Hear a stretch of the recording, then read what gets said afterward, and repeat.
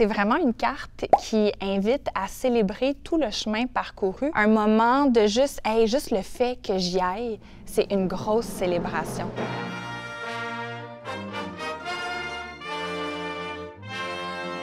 Mon nom est Audrey Lamotte et je fais de la natation artistique. On pense souvent que le tarot, c'est vraiment pour prédire l'avenir, mais moi, je le vois comme un, allié pour nous donner des conseils. Je me demandais si tu avais euh, des, des, rituels que tu faisais avant tes performances.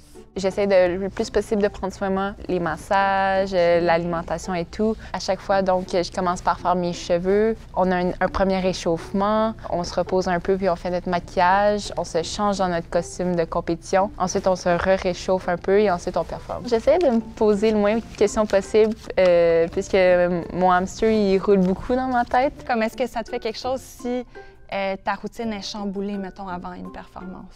Je suis pas très superstitieuse. Euh, je crois plus au travail que je mets chaque jour. Allons-y, pigeons une carte de tarot. Puis avec ta main gauche, qui est la main du cœur, tu vas pouvoir séparer le paquet en deux la carte qui va t'accompagner jusqu'à ton grand départ pour Paris. Ouh! C'est le 4 de bâton. Le 4 de bâton, si tu fais juste regarder l'image, ça a l'air d'être une scène de célébration. Tu parlais beaucoup de travailler dur, de travail acharné, tout ça. D'aussi profiter du moment, puis d'être dans la gratitude, puis d'être dans la joie, puis dans la célébration. Je pense que c'est quelque chose qui va te donner de l'énergie, puis te motiver aussi pendant que tu vas être là-bas. Oui, effectivement, je pense que ça reflète bien euh, ce que je tends à vouloir euh, ressentir. Euh, lorsque les Jeux olympiques vont approcher, effectivement. Ça donne beaucoup d'énergie d'avoir toute la foule qui nous encourage, qui mm-hmm.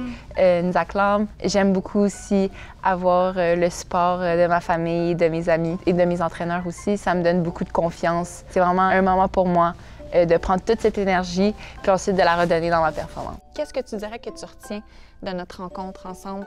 Oui, le travail, pour me rendre à Paris, ça va être très important, mais de me laisser aller, puis aussi de vivre l'expérience pleinement pour avoir les meilleurs souvenirs possibles euh, plus tard. D'être dans la joie. Oui. Voilà.